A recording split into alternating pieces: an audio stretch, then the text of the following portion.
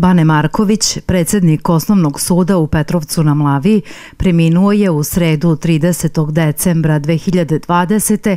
u 53. godini života. Bane Marković je rođen 8. oktobra 1967. godine u Petrovcu na Mlavi, završio je osnovnu školu u Burovcu, srednju školu u Petrovcu na Mlavi, diplomirao je na Pravnom fakultetu Univerziteta u Kragujevcu 22. oktobra 1993. godine.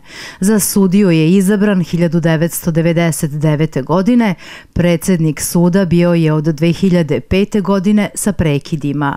Svoj posao je obavljao vredno i marljivo. Za njem su ostali supruga, kćerka, mnogobrojna rodbina i prijatelji kao i kolektiv osnovnog suda u Petrovcu na Mlavi. Komemorativna sednica će biti održana 2. januara 2021. godine u sali Doma kulture u Petrovcu na Mlavi sa početkom u 12 časova.